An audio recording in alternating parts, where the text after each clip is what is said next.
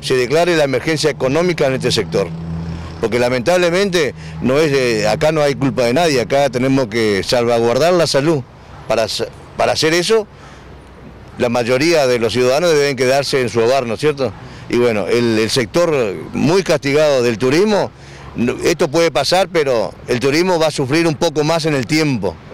Y hay sectores, hay compañeros, hay empresas que nos pueden poner el alimento que necesita una familia trabajadora del sector turístico para poder, a ese nivel estamos, a ese nivel estamos y es preocupante.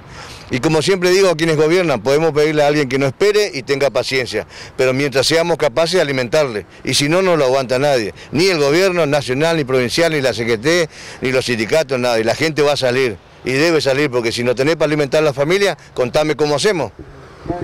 Dentro del turismo, digamos, de los trabajadores de turismo, eh, ¿quiénes son los, más afectados? ¿De, qué sector? Todo aquel que dependa del turismo están los restaurantes, los hoteles, el que limpia, el, el, guía de turismo, las embarcaciones que hacen los paseos en Puerto Iguazú, el transporte, eh, el que se toma el, avión para venir a Puerto Iguazú y poder disfrutar lo que es Misiones, o sea, de, todo, todo, todo el arco, ¿sí? toda la parte colectiva de lo que abarca el turismo, todos sufren, los hoteles ni hablar.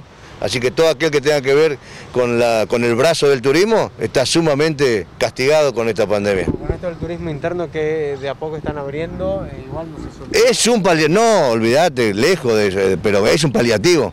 Por lo menos, vuelvo a repetir, por lo menos vuelvo a repetir de que el trabajador, aquel que no tiene la posibilidad de alimentar a su familia, no sé, o el gobierno nacional o el provincial, alguno tiene que acudir para que ese alimento en la familia no falte.